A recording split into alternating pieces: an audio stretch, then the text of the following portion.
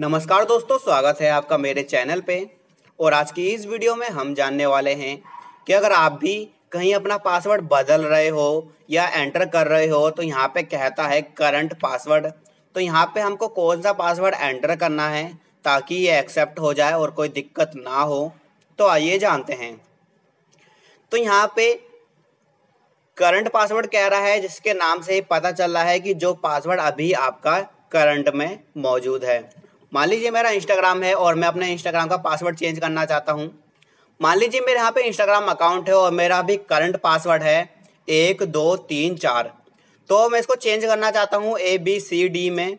तो यहाँ पे जो करंट पासवर्ड दिखा रहा है, यहाँ पे हम डालेंगे वन टू थ्री फोर अभी हम इस पासवर्ड से अपना इंस्टाग्राम अकाउंट चलाते हैं और हम चेंज करना चाहते हैं तो न्यू पासवर्ड हम डालेंगे ए बी सी डी और री एंटर पासवर्ड हम डालेंगे ए बी सी डी तो शायद आपको समझ में आया होगा करंट पासवर्ड आपको वो डालना है जो आपका पासवर्ड अभी है, इसी वक्त। तो आपको वो पासवर्ड यहाँ पे एंटर करना है। शायद आपको समझ में आया होगा। वीडियो पसंद आए, वीडियो को लाइक करें और अगर कोई सवाल तो कमेंट कर सकते हैं।